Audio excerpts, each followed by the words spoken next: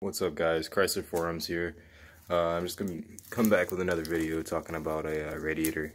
Um, so I have this problem with uh, my radiator, I just got a new one, but I guess the plug is fucked up on it. Um, this is the old one obviously, but uh, the plug is fucked up and I'm trying to investigate without taking off the radiator from my car to see exactly what the problem is. But I know where it's leaking from is underneath, it's leaking from this hole and I put in the, the plug all the way. The plug got stuck in there basically in my new one. So, you know, I kind of just don't understand how it's still leaking um, through here. But what I figured out is that when I pulled this plug, if you can see it, on the inside, uh, let me see if I can get my flash on. That's not letting me. But on the inside, there, there's a hole right there you see it? It's right in there. But that hole, um, it drains down. It drains down when the when the petcock isn't in all the way in the inside.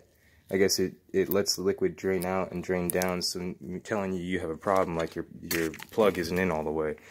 And it will come out right here on the bottom. So basically what the problem is that I have right now is that this is the way my radiator sits in my car. It's, uh, it's leaking with the plug in. It's leaking straight from the bottom, right there. So,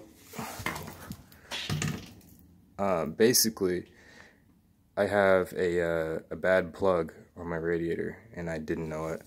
Um, it's either a bad plug or it's uh, it's somehow it's cracked or there's something, you know, like along the seams or somewhere on the inside.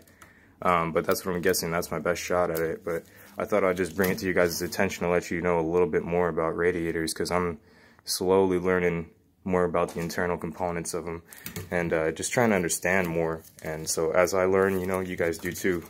So uh, yeah, now I know that they have a, like, it looks like a little drain on the inside for whenever the petcock is not all the way screwed into position or the plug isn't in position, then it can leak out through the bottom. And that's where you find your leaks at. So if you ever find this hole leaking right here, then you know you got a problem.